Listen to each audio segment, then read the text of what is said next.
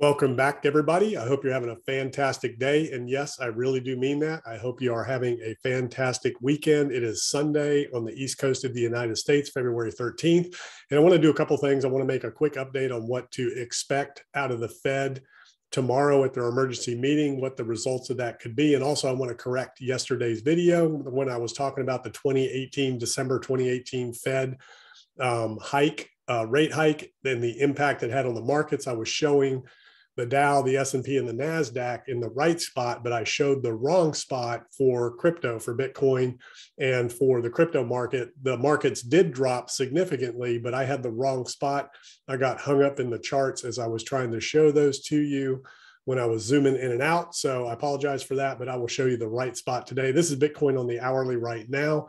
Uh, it is currently 1 p.m. Eastern Standard Time on the East Coast.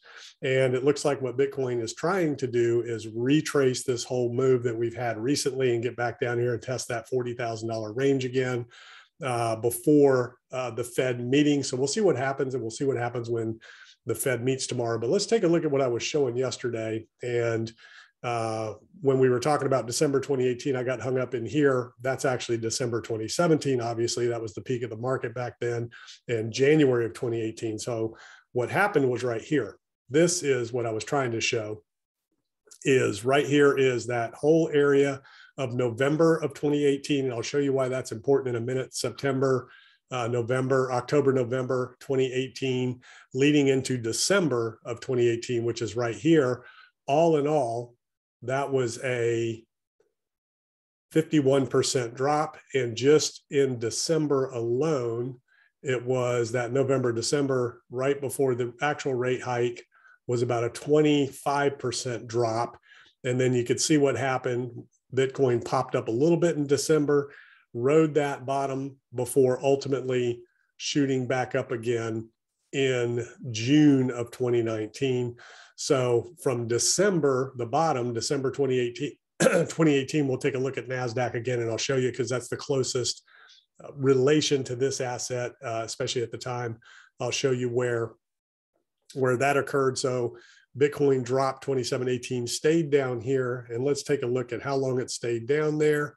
It was about 107 days from December 18 to April of 2019 uh, right in that area there where it stayed near the bottom. And again, that was, if you want to know what a crypto winter bear market looks like, this is what it looks like. This was 2018 peak, dropped. You can see we had a lot of bounces, a lot of bounces, and then dropped ultimately down when the Fed, the final drop was when the Fed raised interest rates so let's take a look at the NASDAQ again, just so that brings this into perspective in the timeframes that I was talking about here.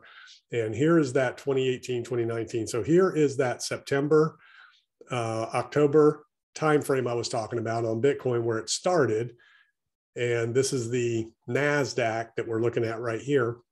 And then right here is, is October and then December right in this area here and the NASDAQ dropped in December when the Fed raised the rates about 17%. It didn't stay down very long, but it bounced right in this area and shot straight back up over about, let's look at the period of time from the bottom till it got back to where, where it lost was about 119 days. So same kind of path and track that Bitcoin was on, a little bit more straight up where Bitcoin kind of bounced around the bottom a little bit more during that time frame, but you're talking about the NASDAQ versus Bitcoin, different assets at the time, different market at the time than what we're experiencing now. So why is this important? So let's look at where it started. So back in June of 2018, that's why I said that September, October timeframe. So the Fed announced in June of 2018 that it had four rate hikes in mind for the year.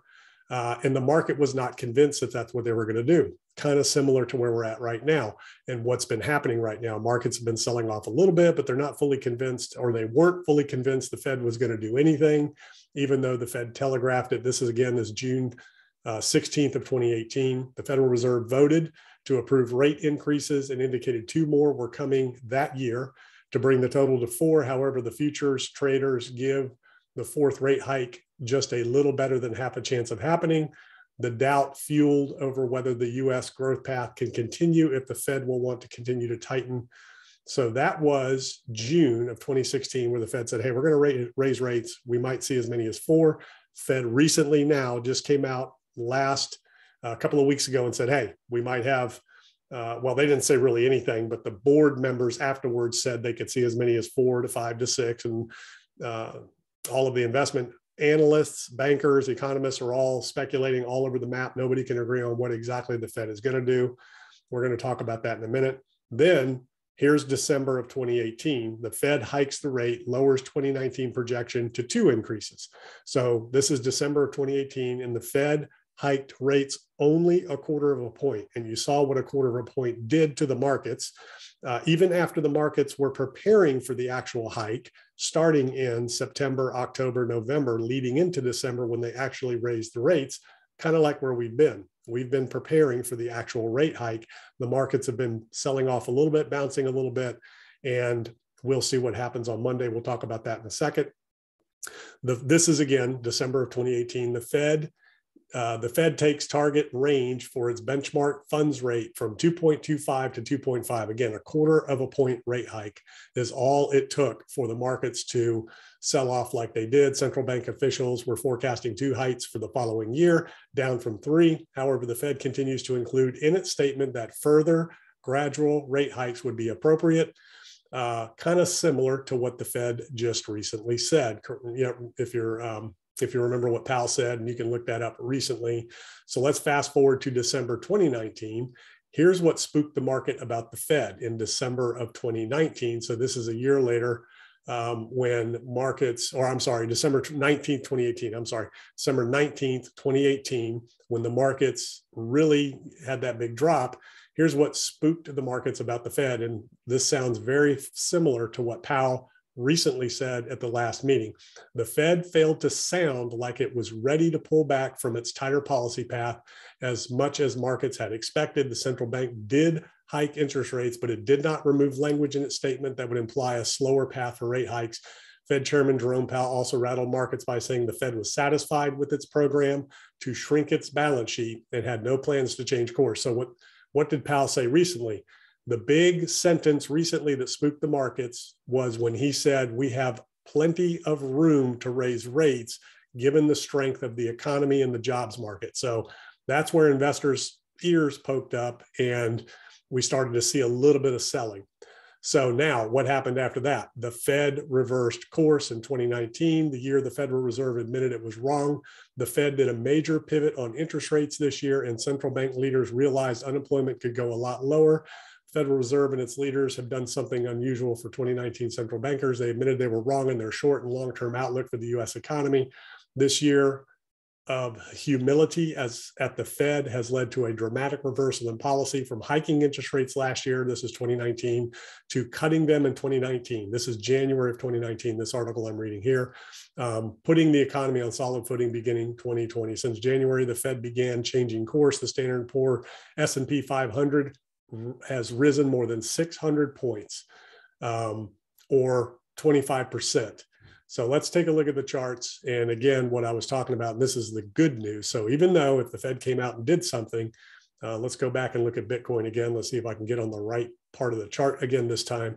So this is, uh, let's go back here. I'm on the daily and let's look at that area that we were looking at in the charts of December. So here's that December 2018 bottom. I've got the right point in the charts now. This is a lot harder than it looks, by the way. So I've got the right point in the charts here. When you're zooming in and out and scrolling around, you can get lost in the charts. So where's January? So when the Fed reversed course in January of 2019, it was right in this area here when markets started heading up again. So it wasn't an, immediate snapback for Bitcoin. Bitcoin stayed down a little bit. Crypto markets kind of followed suit. But let's take a look at the Nasdaq.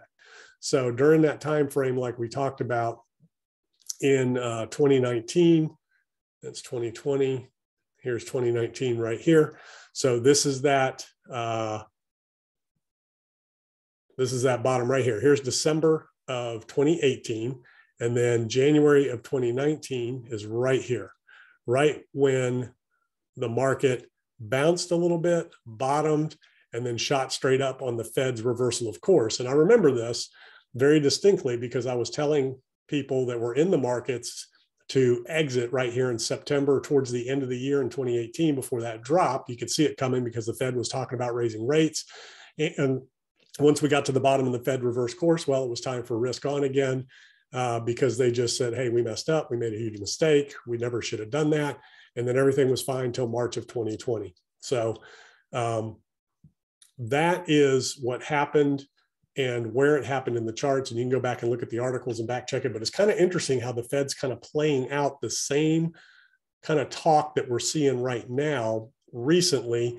The Fed comes out and says, hey, we're going to raise interest rates, but they don't say how much or how often.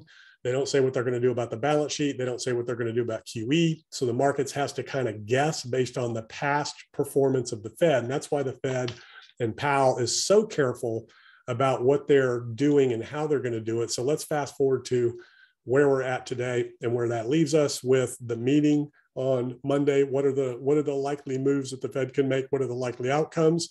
So one, and again, economists are all over the map on this, and, and you know, analysts are all over the map on this. Money managers, fund managers, investment managers, all over the map on this. Some people think the Fed may do nothing at all and just say, hey, we're going to continue to watch, continue to be nimble. We know that inflation is a problem. We're going to act in March. They could say that. If they do that, markets will bounce, everything will bounce. We'll get a nice little pop until we get close to March, and then we'll see what they're saying then. If the Fed comes out and says, we recognize inflation is a problem, we have to act now, we're going to immediately hike rates a quarter of a point, you'll see a drop in the markets just like we saw back in 2018, probably from this point 10 to 20% depending on the asset. S&p nasdaq dow jones might drop 10 15% bitcoin and cryptos will drop. Well bitcoin will drop 15 to 20% maybe a little more. Altcoin markets will continue to drop some of those maybe 20 30 40% depending on the coin and depending on what sector it's in. So that is with a quarter point rate hike 25 basis points and nothing else. So what if they say 25 basis points, and we're going to eliminate QE, our bond purchase program, right now. That will give even a bigger knee jerk reaction. Remember, a lot of the trading is set up on algorithms if this, then that. So, as these things are plugged into the algorithm, to the formula, it just triggers selling and then retail follows, and you get a little knee jerk reaction. What if the Fed comes out and says half a point rate hike and elimination of the bond purchasing program, and we're going to start working on the balance sheet later, then that'll be even a bigger move where you'll see markets really, really sell off. You'll see a big reaction in the markets and uh, we'll see a real capitulation event. But what, what does that mean? As you saw, just like the last time and just recently, so March 2020 and sept, well, uh, the January of, of 2018, January 2018, uh, 2019, you saw where the Fed reversed course and completely changed the program. Let's go back and look at this again. So this was uh, 2019. This was December of 2019, December 11th, 2019, when the Fed completely reversed course on the uh, QE. So basically came back to the table and decided in 2019 that they're going to completely reverse course, start lowering rates, and it was going to be risk on again. You can see what happened in the markets in that time frame. Uh, from December 2019 on, it was pretty much straight uphill. And December 2018, we had that little bottom. Everything came back from there. So that was uh, 2019 when they said we are reversing policy and we're going to start reducing rates. And it's been reducing rates ever since then, and it's been uphill in the markets. Then when we hit the pandemic bottom, it was just in constant injection of liquidity into the markets, and it's been straight uphill ever since then. So um, the worst possible thing would be a half a point rate hike and elimination of bond purchasing. I don't think we're going to see that. They could come out and just say, well, we're just going to eliminate bond purchasing. You might see a little bit of a knee jerk reaction on that, but it won't be a complete capitulation event. If they do do that, um, let's go back here and look at the chart uh, where I was talking about in December of 2020, where the Fed right here, where right in this area here, this is the NASDAQ we're looking at. And this is that December timeframe here where the Fed said we're going to reverse course, we're going to lower rates. We messed up. That was that was uh, December 2019 into uh, February, March 2020 when we had the pandemic happen. So basically straight uphill from there. Let's look at Bitcoin in that same time frame. Let's go back and look at December of 2019 or 2020. I'm sorry, December, yeah, 20, 2019, October, November, that's 2020. Where's 2019? Let's go back here, right before the March bottom. So there it is right there. That's that December, October, November, December is right in here. But January, February, it was straight up until the March bottom. So the markets, in my opinion, were Bitcoin was recovering from this 2018, 2019 bear market after uh, our 2017, 2018 bear market into 2019. It was starting to recover and was getting ready to start on the bull run that we just experienced back in that February of 2020 timeframe before the March pandemic happened. And then with the injection from the Fed, it just went, you know, it did a, you know, a 15, 20x from there. So where does that leave us now? So it's Super Bowl Sunday. There's a lot of hype. There's some ads that are going to be out in the Super Bowl with different crypto exchanges, different crypto um, companies are advertising.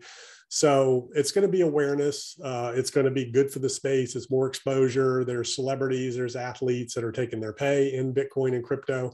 Um, so those are all good things, but it's not like everybody's going to drop what they're doing tonight and just immediately download apps and start buying crypto. So that's not going to happen. So you've had a little bit of this excitement leading up to the Super Bowl. It's going to be good for the space, it's going to be good for adoption, things like that. But at the end of the day, the Fed uh, rules the markets right now. All eyes are on the Fed to see what it is that they're going to do tomorrow. And we've talked about the different um, outcome scenarios of the different decisions that they could potentially make. So all we can do at this point is wait and see. And then on top of that, you have the whole situation with Russia, Ukraine, and the geopolitical global climate environment that we're dealing with right now and the impacts of that. So one thing at a time. Right now, we have the Fed to watch. We're probably going to see them take some sort of action. It's highly unlikely that the Fed's going to call an emergency meeting and not take some kind of action. The markets will have a knee jerk reaction to that uh, action, whatever it is they take, the more positive it is, the less of a reaction, the better it's going to be for markets, the more negative it is, uh, the more the markets will react and the bigger the impact. So we'll just have to wait and see. And this is all uh, for you to be prepared for what's coming and for what could potentially happen given what the Fed has to do. And they have to test the markets. They have to start doing some things to kind of taper inflation. They have to let markets run a little bit. They're not going to let the markets collapse. Again, there's opinions and uh, different analysts, different economists think that the Fed will step in. Some think that they won't step in, that they'll let markets kind of settle where they'll settle. The Fed cannot let the markets collapse. They have to keep the markets healthy. They have to keep them propped up. If the markets start selling off more than 30%, 25, 30% for any given reason, the Fed's going to step back in and prop the markets up. So everybody knows that. The markets know that. And it would be highly unusual for the Fed not to do that. That's just too much wealth to be destroyed, given the fact that we are already seeing wealth destruction with inflation. Inflation's at a point now where it is destroying wealth. They have to raise rates, which is going to affect values of assets, including real estate.